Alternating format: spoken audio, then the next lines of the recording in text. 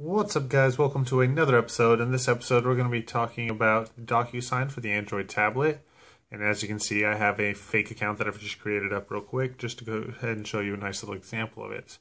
Uh, I do want to let you know that you do get five free signatures with this. It is a free application to download, but if you want to do five signatures in the digital context, such as if you get your form in an email, uh, you can sign directly on your screen and send it back, and it is actually a legal tender, so you can do that for DMV files, insurance claims, whatever you want to do this for. This is a great way of getting it done without having to wait for the mail, because we all know the postage can take some time, and especially if we need to get something done ASAP, uh, DocuSign is going to be that.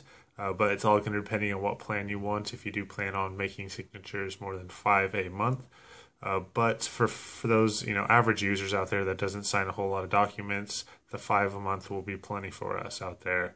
Uh, I've only had to sign a few documents here and there. Uh, I've been using this for a few years now, and I can say I've probably signed about three or four documents total.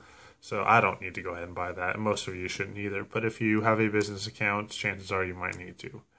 Uh, but taking a look at it, as you can see, it keeps everything organized on the side over here. Uh, sorry about that shaking. Uh, the documents little section is going to be where all my documents are right now.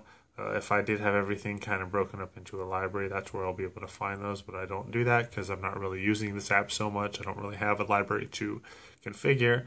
Uh, then there's my account information at the bottom, and then settings where you can go into that and kind of just make a few little simple changes towards the end there, such as your date, uh, sharing some information, feedbacks, facts, terms and use, and all that type of uh, useful information.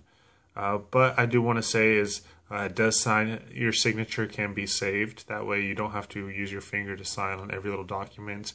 Uh, you can just put in a passcode and then go ahead and copy your signature every time and just place it into the right area. Uh, it'll digitally then kind of print it on there. Uh, then you can email it or send it via other you know shareable uh, source in the digital world, and that way you can't get your you know your signed copy back within a few you know a few minutes, depending on how long it takes you to make the signature. Uh, but it is a free you know free to download in the Android Play Store. Sorry, the Google Play Store. Uh, but if you have any questions or comments, you can leave them in the section below. Don't forget to subscribe, and I'll see you guys next video. Peace.